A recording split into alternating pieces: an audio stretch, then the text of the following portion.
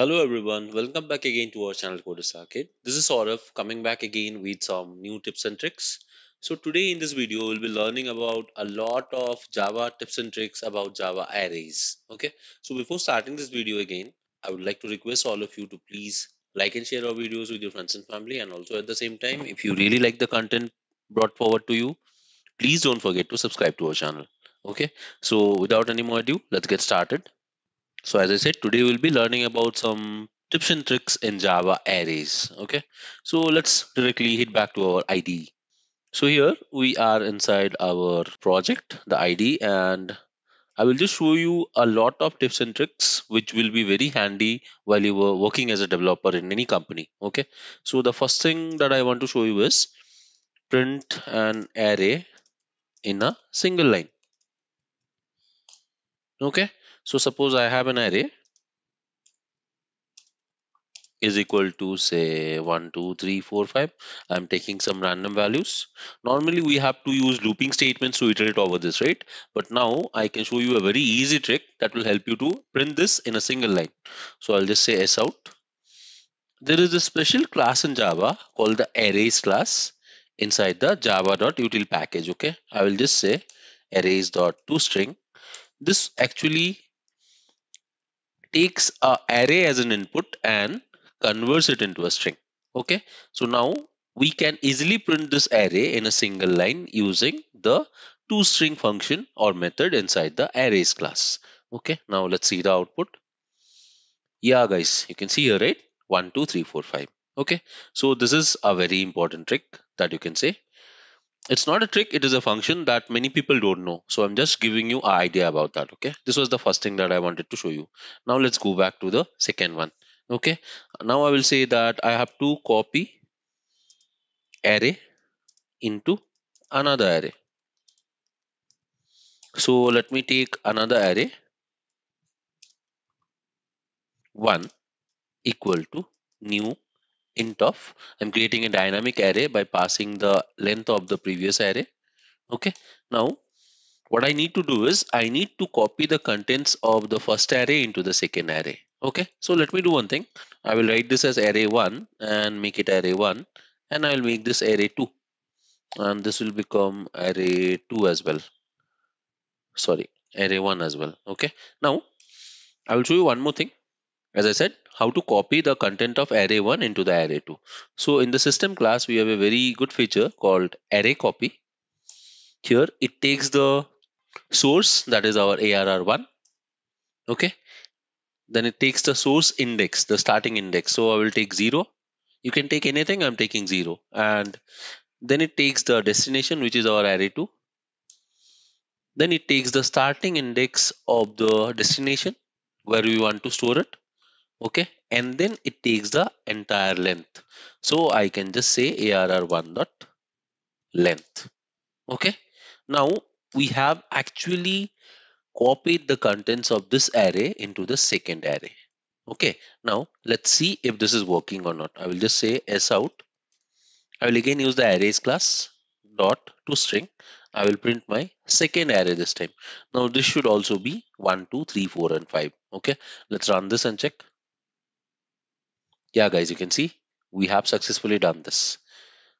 Okay, now suppose you want to find the index of a particular element for that also you can use a very good function called binary search which is also there in the arrays class.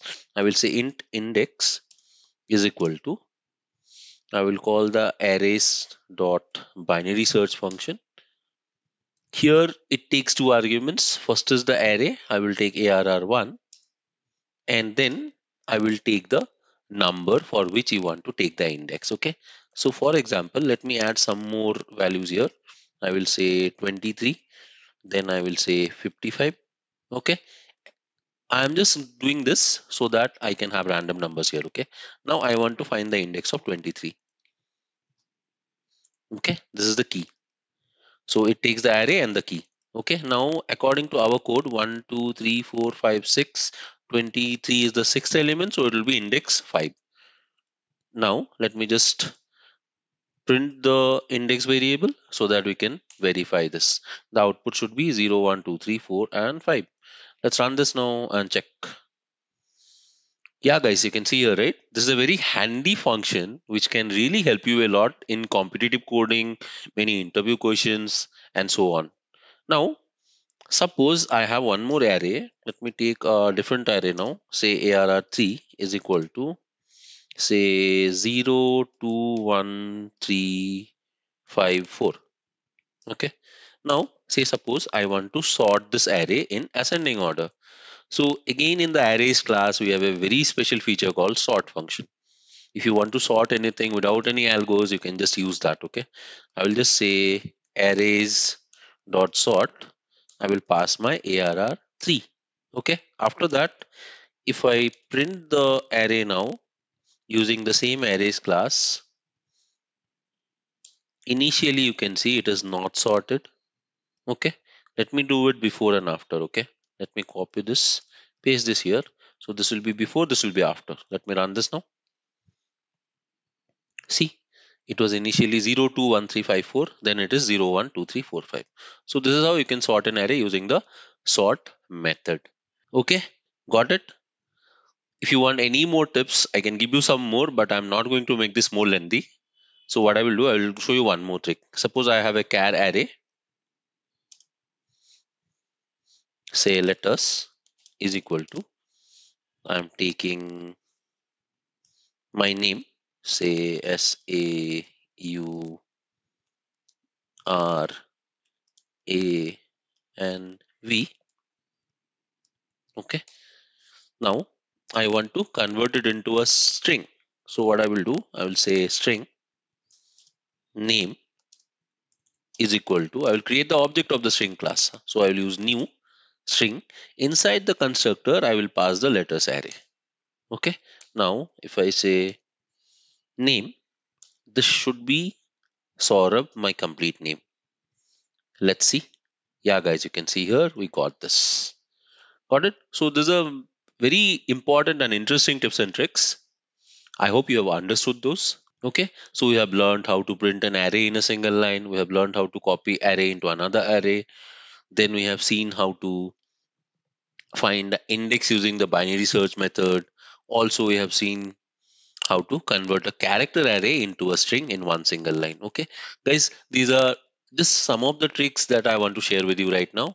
If you want any more tricks like this you can ping us in the comment section. We'll be creating one more video like this okay? Any topic any concept that you want lots of tips and tricks you can ping us in the comment section. We'll be very happy. And coding is fun guys. Try to learn more and more. Try to devote more time dedicate more time and make it fun for you because it is going to be fruitful and you will be getting lots of knowledge about this. Okay? So if you really like this content please don't forget to subscribe to our channel and also hit the bell icon. And thank you for watching and supporting. Thanks a lot guys. Till the next video this is Saurabh signing off. Bye bye and happy learning